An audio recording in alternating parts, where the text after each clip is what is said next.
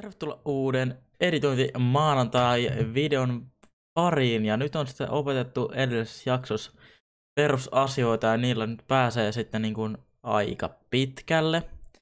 Ja nyt joku sitten haluaa saada renderöityä sen videon, että saa laitettua sen tubeen. Ja ensinnäkin, tässä on tää video preview juttu. Eli täällä teillä ei ole vielä näitä 60 fps juttuja, vaan teidän pitää lisätä itse tänne 60 fps. Eli te etitte täältä tämän Full HD Resolutionin, Resolutionin. Tässä on tää 30 fps, näin. Ja sitten tänne tulee, että frame rate. Poistat ton, laitat siihen 60, ja sitten täällä laitetaan best. Ja sitten laitetaan resample mode disample, disable, resample.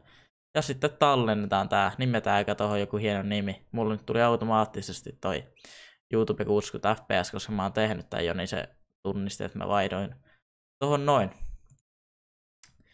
Mutta joo, sitten painetta OK. OK. Ja sitten tää video preview juttu on valmis. Seuraavana mennään render as. Täältä näin palataan hetken siinä. Itse asiassa nyt multa jää yksi juttu välistä.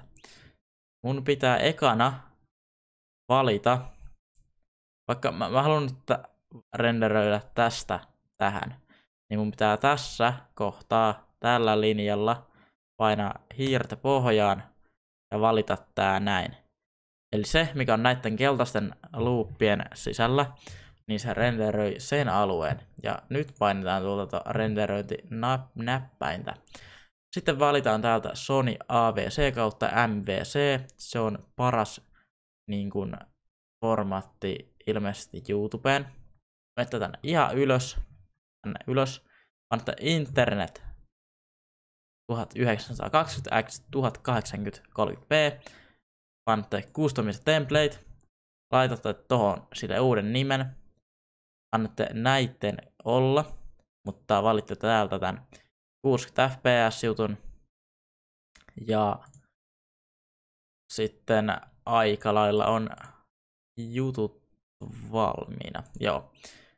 Sitten muutatte tuon nimen siis tosiaan tosta noin ja laitatte tuosta tallennan, niin laitatte vaikka sen 60, YouTube 60 fps ja tässä tulee teille tonne noin. Ja sitten te vaan painatte tätä render ja sitten tehdä videon renderöity.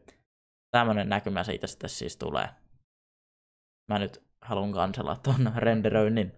Mutta joo. Kiitos kun katsoit videon tänne ja muista tykätä videosta laittaa kanava tilauksen, jos et oo sitä vielä tehnyt. Se olisi tältä kertaa. Moi moi!